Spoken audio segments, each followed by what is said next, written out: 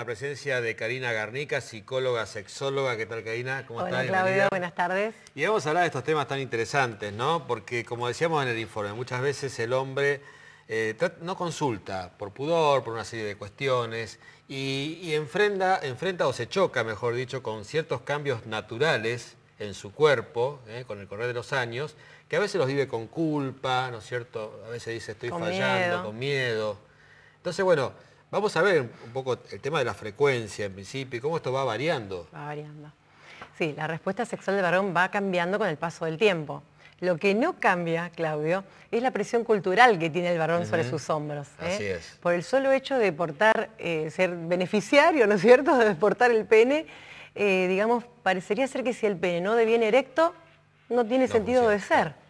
Y más que todo el varón, que está muy centrado siempre, más bien circunscribe la, la sexualidad al, hecho de lo coital. Está muy sujeto, ¿no es cierto?, él cree, erróneamente el varón cree, que la mujer está expectante de recibir el pene erecto.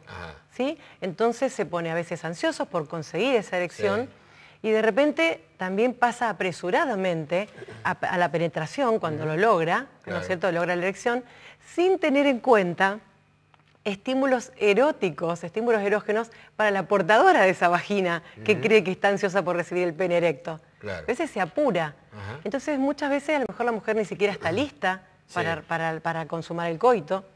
Entonces, bueno, es, importante que el varón sepa esto y que a lo largo del tiempo va a ir cambiando esa respuesta eréctil, por ejemplo. Va a costar más tiempo. Y va a ser normal. Y va a ser normal, ah. va a ser normal. O sea, a la medida que pasan la década de los 40, 50, ¿sí? Va costando un poquitito más de tiempo y de enfocarse. Eso es importante ahí el rol de la compañera. Si es una compañera, vamos a hablar de una pareja heterosexual, por ejemplo, ¿no? Si es una compañera eh, pasiva, que está esperando que el varón arribe, la busque, ¿sí? arribe al cuarto con la erección ya generada. No, acá tiene que saber la compañera que va a necesitar más estímulo él. Claro y en esa etapa de la vida es cuando más se equiparan, porque el varón necesita más estímulo, cosa que siempre necesitó la mujer y a lo mejor no se le, no se le ha dado, no se le ha tenido en cuenta. O sea, van a tener que trabajar los dos en conjunto en una tarea que también tiene su, atractivo, ¿no? Su, cuestión erótica permanente. Yo a veces, exactamente, cuando a veces le digo a los pacientes que tienen tareas, consignas para trabajar en la terapia individual, eh, solos y en pareja. Y a veces no encuentran el tiempo, es otra de las cosas que pesa sobre la sexualidad el día de hoy. La sexualidad es industrializada, eh, la, perdón, la, sociedad industrializada, eh, la, gente tiene menos tiempo para la sexualidad. Se detiene menos a tener un buen encuentro de calidad, dedicarse. Entonces, quizás el hombre no se vea tan obligado a esa condición machista de llevar adelante la relación y necesite a lo mejor la colaboración de la mujer que empieza a tener un nuevo rol. ¿no cierto? Más, más activo. De hecho, sí, hoy por hoy se ve, ¿no es cierto? Es muy común en la consulta, a veces son... La, mujer si se, a veces está enojada porque el varón ha tardado años en consultar si hay una problemática, ¿no es cierto? Como vos decías al principio, por vergüenza, por, ¿no es cierto? por, miedo, porque a lo mejor no sabe ni siquiera dónde consultar. ¿sí? A veces la mujer está enojada, bueno, eso no va a ayudar. Si la pareja no colabora en la terapia sexual y es una pareja a lo mejor que tampoco está interesada demasiado en la sexualidad, a lo mejor el varón viene a la consulta, quiere mejorar y de repente ella tiene falta de deseo sexual, un deseo sexual hipoactivo. ¿Y eso es normal? En realidad, en ese caso, a lo ah. mejor es una... Volvemos al principio. Ese varón que no se ha dedicado a lo mejor a esa, pareja, a estimular eh, desde otro lugar erógeno y se ha centrado estrictamente en la penetración, muchas veces a lo mejor esa pareja no llega al orgasmo, o con el tiempo también va disminuyendo su deseo.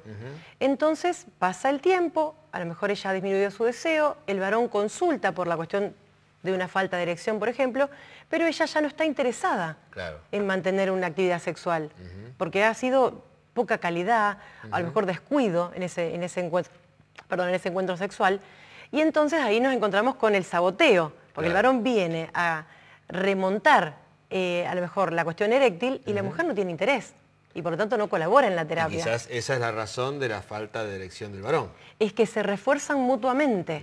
Por ejemplo, recién decíamos, el varón le cuesta lograr la erección. Si de repente se apura pensando, como decíamos recién erróneamente, que la mujer está ávida por ese pene en erección, también va, puede pasarle de eyacular rápido. Porque luego tiende a pensar, si la erección se pierde, si no se mantiene, entonces se apura. Entonces luego se forma un círculo vicioso donde de la curva de la respuesta sexual, tanto femenina como masculina, terminamos como aniquilando esa curva. O sea que eh, es más frecuente una disfunción a nivel pareja, digamos, que una disfunción individual, podríamos decir. Generalmente yo le, suelo decir a, la gente que consulta que en realidad uno porta como si fuera la mochila de la disfunción, pero la disfunción la construyen juntos. Podemos exceptuar en este caso a lo mejor la eyaculación rápida en el varón, ¿sí? la eyaculación precoz, donde el varón, en este caso desde muy jovencito, ha aprendido a desencadenar su reflejo orgásmico muy rápido. Ahí, digamos, el aprendizaje es, suyo. En este caso hay varones que vienen a la consulta, ni siquiera están en pareja, y vienen a aprender el control eyaculatorio. Claro.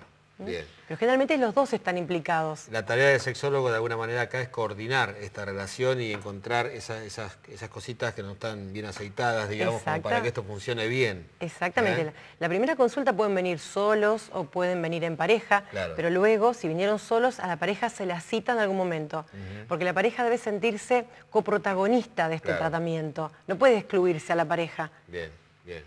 Eh, no nos queda casi nada de tiempo, habíamos mencionado lo mencionamos así como menopausia masculina, en realidad es la andropausia, ¿verdad? Eh, ¿Esto ocurre a partir de qué edad? En realidad las hormonas del varón, porque no puede ser privativo de la mujer nomás esto, ¿no es cierto? Que el deseo sexual en la mujer debido a la baja de estrógenos disminuye. En el varón también con el paso del tiempo la testosterona va disminuyendo. ¿sí? Bueno, lo que puede traer a lo mejor cambios en el estado de ánimo, cambio de carácter, y sí, la testosterona es te diría casi la responsable del deseo sexual. Entonces sí puede estar disminuyendo un poquito el deseo sexual. Pero no obstante podemos encontrarnos cierta gente que, no sé, encuentra su primer amor o redescubre el amor, a lo mejor, no sé, a los 60 años, y aunque la testosterona vaya disminuyendo, sin embargo se mantiene esa, esa pasión, esas ganas, como si estuvieran 20 años. Por eso una, consulta a, un especialista en sexología realmente nos puede cambiar el panorama y redescubrirnos, ¿no? A, cada etapa de nuestra vida, porque en realidad el sexo se vive hasta, hasta último momento. Hasta el último momento. para el sexo. ¿eh? Y la idea es esa, ¿no es cierto? Saber, conocer y hacer prevención para saber, bueno, esto es normal, sí es normal a esta edad, o cuando ya la problemática se ha instalado, buscar ayuda a un sexólogo. Bueno, vamos a dar un teléfono para la gente que quiera consultar. A Karina Garnica es el 440-5208, 440-5208, para contactarse y bueno, este, charlar sobre estos temas tan interesantes. Bueno, Karina, muchas gracias eh, por visitarnos. A ustedes, buenas tardes. Continuamos con más Televida. Centro Médico de Cadera, Rodilla y Pie, dirección